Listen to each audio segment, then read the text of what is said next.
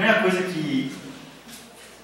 É, bom, inspirado nesse movimento de software livre, um cara chamado Jim, Jim Wales e um outro cara chamado. Ah, não esqueço o nome dele.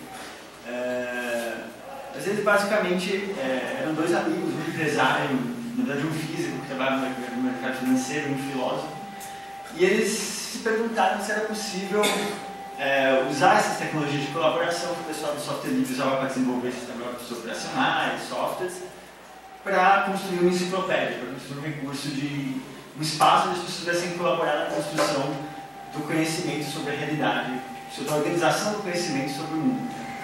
É, e aí eles contrataram um pessoal para desenvolver um software, que já tinha, esse software que já tinha sido desenvolvido por outras pessoas, contrataram para desenvolver um software especializado, especializado para desenvolvimento enciclopédico.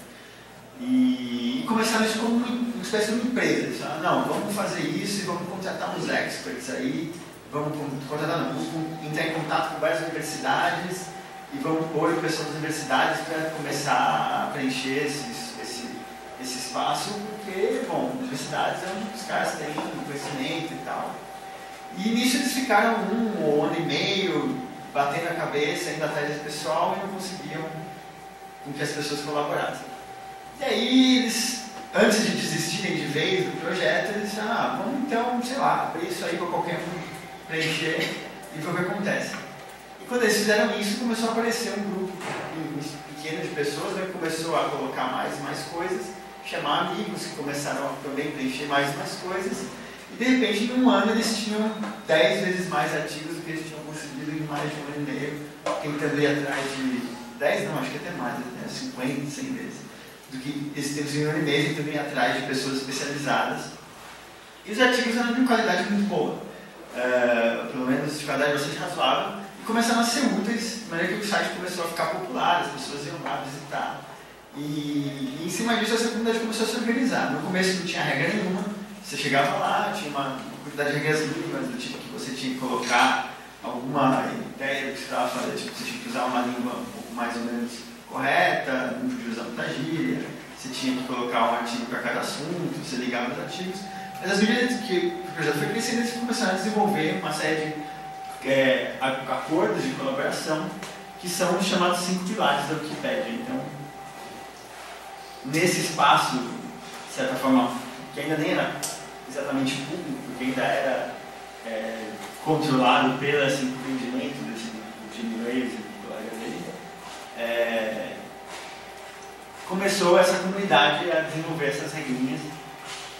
E as regrinhas elas são bastante é, genéricas, né? mas e à medida que elas que, que a dificuldade cresceu, elas foram se especializando. Mas as regras são é, importante entender elas porque elas vão dar um vão dar um norte do que, que é do que se trata o projeto. Elas são uma espécie de constituição do projeto. É, então isso é uma coisa que a gente vai ver muito recorrentemente nesses processos colaborativos, quase todos eles têm um grupo de princípios, um grupo, alguma definição que dá um norte para o trabalho deles, e em cima dessa definição, em cima desse norte, é, aliás, norte não, fala assim, é, uma direção de sentido para o trabalho deles, e, e, em cima desse sentido eles vão é, usar todos os recursos tecnológicos para chegar para produzir o que eles estão querendo seja uma mudança política, seja uma enciclopédia, seja um software, seja, é, seja um processo de aprendizado. É, então, a primeira Wikipédia é uma enciclopédia. Isso é muito importante porque, senão, ela ia poder pegar outra coisa. Então, quando você está estudando Wikipédia, você no acordo é que as pessoas estão lá para criar uma enciclopédia.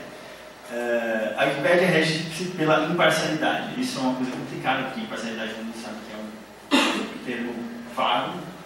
é, mas é, a Wikipedia é, produziu uma noção de imparcialidade muito prática. A gente precisa de um acordo que todo mundo consiga seguir, que todo mundo consiga entender, e a gente não vai cair em discussões infinitas sobre o que é imparcialidade.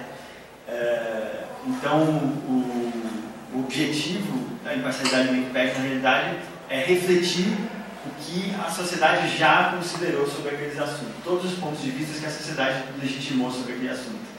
E aí ele acaba se pautando em outros meios, como é, no jornalismo, na academia, é, em organizações sociedade civil.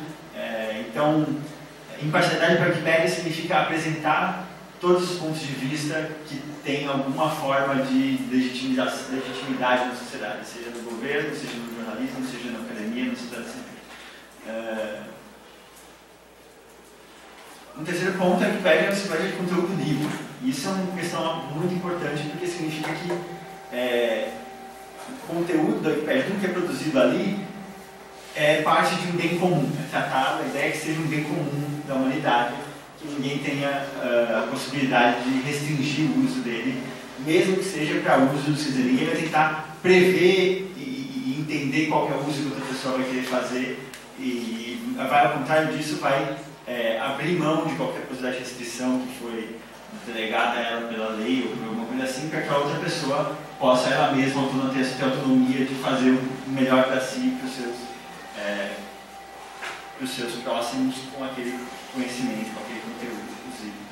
É, em termos práticos, significa que então, a Wikipédia ela tenta utilizar mecanismos legais que tentam reverter o processo de direito autoral. Então, o direito autoral é o direito de, que se confere aos autores de restringir o uso da obra. É, então, na Wikipédia, seria uma produção coletiva, colaborativa, com essa proposta de é, conhecimento comum, é, ou que o pessoal chama conhecimento livre, usa-se mecanismos é, legais, que são as licenças, a gente vai ver depois um pouco mais sobre isso, é, para que o, o, todos, os, todos os mecanismos de restrição do direito autoral não possam impedir, dificultar a produção do Wikipedia.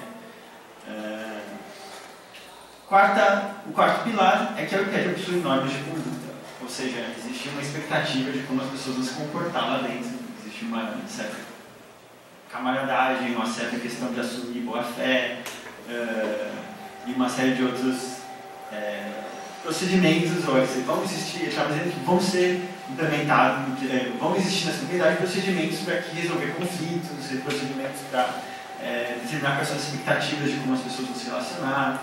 O principal deles, como diz aqui, sobretudo, assumir boa-fé. Então, essa é, um, é uma, uma questão muito forte, a noção de confiança, e a gente vai ver isso em vários projetos, a noção de confiança é um, é um, é um, é um, é um lubrificante muito forte de todos esses processos colaborativos e cooperativos, não, é, não surpreendentemente.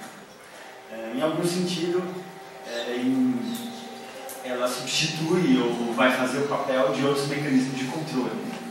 É, então, isso vai permitir um controle, a confiança permite um controle a posteriori, junto com outros mecanismos de rede, ela permite que no lugar de você restringir a ação das pessoas de início e dificultar a entrada na colaboração, você é mais permissivo, você confia nas pessoas, mas você tem mecanismos para rever o trabalho delas posteriormente. Então você joga, inverte um pouco